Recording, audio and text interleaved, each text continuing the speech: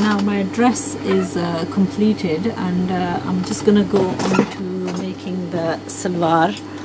Uh, the salwar is basically same as any other salwar that I've already stitched in lots and lots and lots of lessons but uh, since I've done the kurta I'm just gonna go ahead and do the salwar. The salwar if you even timed me I think if you were to time me I could with pride say that this is something that I actually do in less than 10 minutes.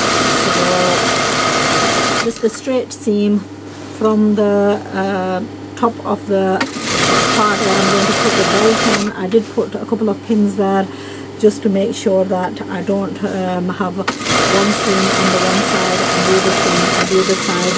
I will take you through the full tutorial on this salwar um, just to just to explain basically what I'm doing. Uh, generally on a kurta like this I would make a salwar which wasn't too heavy. Um, I've had a slight bit of a snag with the kurta. Um, I was hoping to make it for myself and what's happened is uh, I've made it a little bit too wide so it's not the right size for me unfortunately. Um, if I am to make it for myself then I would have to cut into it or maybe I'll put the weight back on and uh, fit into it I don't know. Or maybe maybe I'll just keep it and if I go to Umrah inshallah which I'm making intention of then I'll wear it even though it's light uh, that's the two side seams so now what's happened is the salwar has become as one. I'm going to do the seam on the asan just on the one side. And uh, both my parts.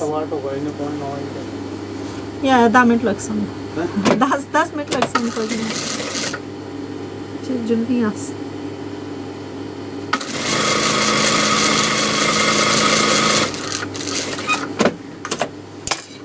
that's the pieces all attached. And I'm just gonna put the belt on.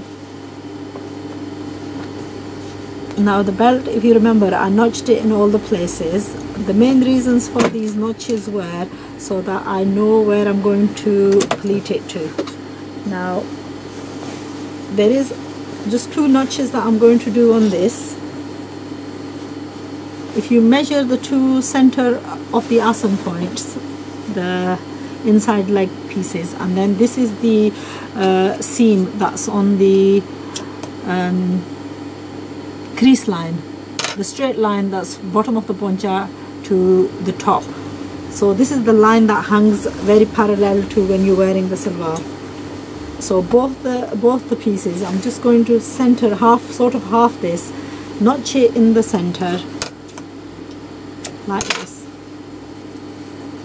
And then both my belt and the right side of the salwar facing each other. I lay one on top of the other the belt underneath and basically just pleat this at about one inch uh, one inch pleat. So one inch folded in half well two inches folded in half one on either side. And you you really get the hang of this especially on something like cotton uh, cotton is fairly easy to pleat so and basically what you want is that center notch that you did which is just I'm just getting to the point where my finger is that's where the notch is. I want that to meet up with the center of the notch that I marked on the actual salwar.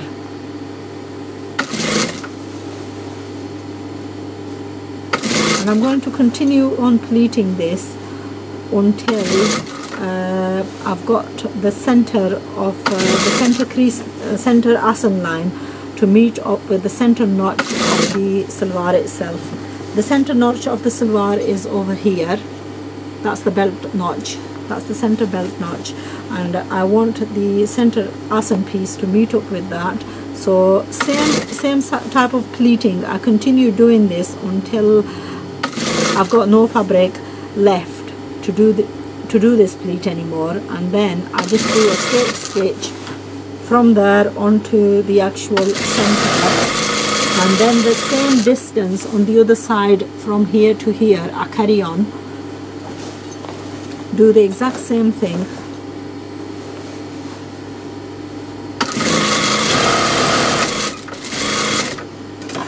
And when I come to a stop there I start pleating I start pleating the opposite way. So last time I pleated towards the camera this time I'm pleating towards myself. So exactly similar pleats to what I did earlier. Uh, a one inch well a two inch folded in half one inch on the other side and took the one pleat on top underneath the other and just continued doing this until you've reached the end point.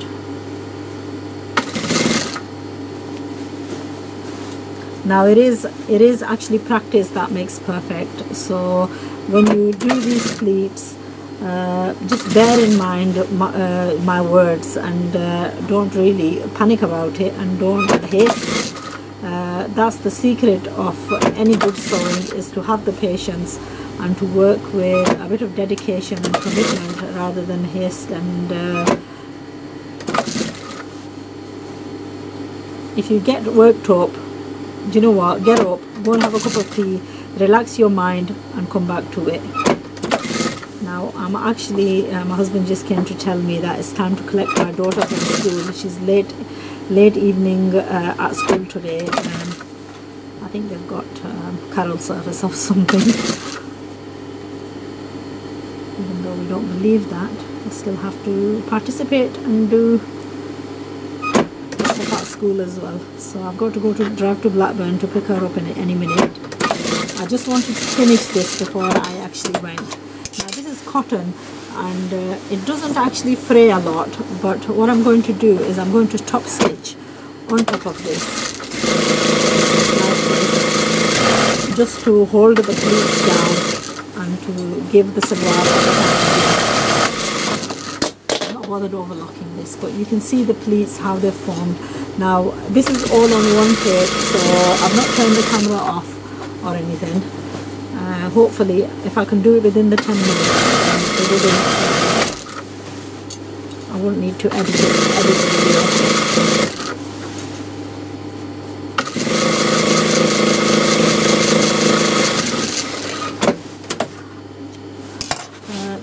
the the other asan seam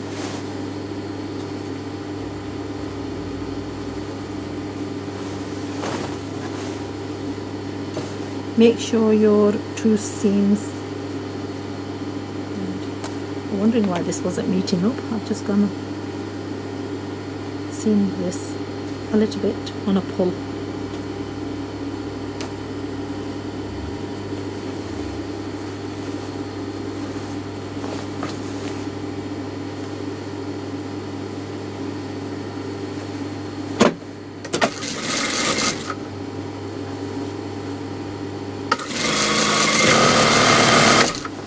the center asan seam and that just closes up your.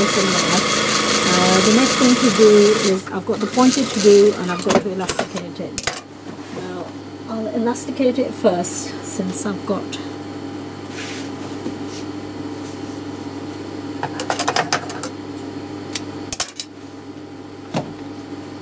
Now if you're worried about how much to cut the elastic, measure your waist and uh, do it about 3 inches less than your waist size or 4 inches less than your waist size. So if your waist size is 28 then cut the elastic to about 22 and that should give you a good uh, measurement. To elasticate turn your salwar uh, right side up.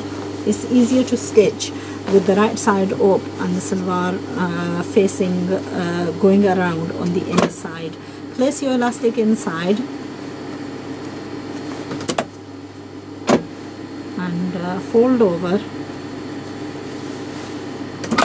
And just sew below the elastic. Don't stitch on the elastic. Sew below the elastic. Trapping the elastic inside.